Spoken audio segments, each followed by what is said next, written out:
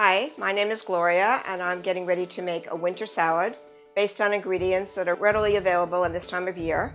Uh, that includes clementines, the zipper fruit, and beets, uh, which are root vegetables and are very available all year round, but particularly in winter.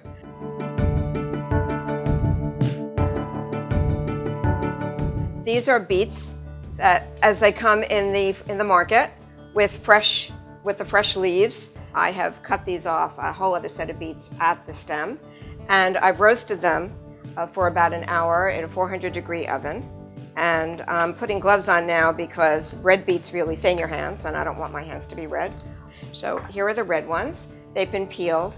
Um, basically, after you roast them, if you wait a little bit until they cool off, you can sort of just peel the skin off. And anything that's left, I find what's a really good trick is to finish peeling with the back side of the knife, which is softer than even using a paring knife, a sharp paring knife. This side is really softer and it sort of gets the skin off without leaving any striations or any cut marks. So these look like perfectly round beets. They're all shiny and round and just look pretty. It's all an aesthetic thing. It doesn't affect the taste at all.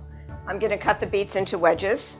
And remember that this is going to be a salad that we're going to compose. In other words, everyone's going to get their own salad. So we try to cut them into bite-sized pieces, although not too small that they look foolish on the plate. They shouldn't look like a child's plate.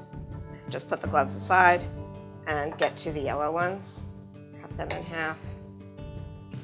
Now I'm going to peel the clementines, the zipper fruit, so named because you can easily pull off the skin like you're just unzipping them. And they're available all winter and really good. And then just pull off as much of this white pith as possible. You don't have to be crazy about it, just whatever's really sticking out. And cut them into wedges, or peel them, separate them into wedges, I should say. Okay, now we've got the beets and we've got the clementines in the bowl. The next thing to do is to peel the avocado. This one is already cut, so we just take a knife and peel back the skin.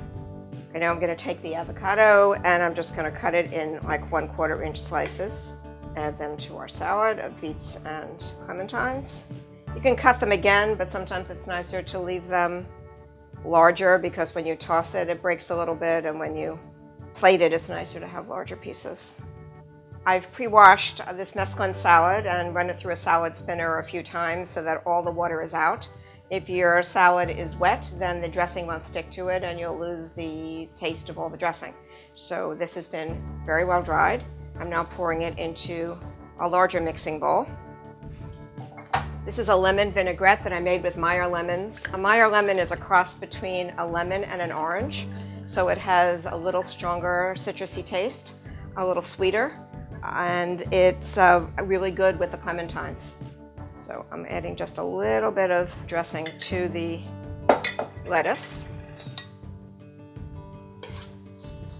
Gonna mix that up gently. I'm going to put a scoop of a couple of spoons of salad on the plate. Give that a gentle toss of this and put it in the center of the salad. And then assuming you have asked which of your guests has a nut allergy, you can take some toasted pine nuts. I took these and I put them in a 350 degree uh, toaster oven for just a few minutes you have to watch them carefully because there's a lot of fat in them and they burn very quickly and they're expensive nuts, so you really don't want to burn them. You can use toasted almonds, toasted walnuts. I do like the pine nuts. And just sprinkle the pine nuts over the top and your salad is done. Now that I've made this fabulous salad and it looks so beautiful, the only normal thing to do would be to taste it. So I'm going to have a beet. Actually, it has some nuts on it. Mmm, fabulous. The beet is like candy. The nuts are crunchy. The Meyer lemon dressing is spectacular.